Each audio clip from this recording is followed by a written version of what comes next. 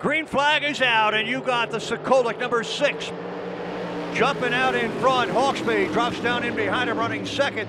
Miller on the outside of Brandon Young, battling for third down the back straight. Kyle Perry right there behind him. Perry now trying to tuck a wheel up underneath the nine, but the nine of Griffin stays on the outside. The battle for third, fourth, fifth, and sixth. Young and Miller side by side. They're going at it for third.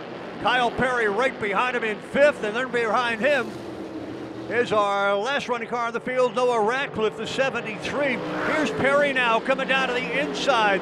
Gets a wheel underneath Griffin Miller. Perry moves into the number four spot, but race leader Josh Sokolik is right behind him. Sokolik swings to the outside, comes easily around the high side of the 73 of Noah Ratcliffe to put him a lap down. So with six laps remaining, now there are five cars on the lead lap as Josh Sokolik has gone from the pole to lead them all so far, running out of laps here in the 25 lap 350 Wing Super Modified feature event. It is Josh Sokolik in front, 50-50. Over 1700. Here's the checkered flag.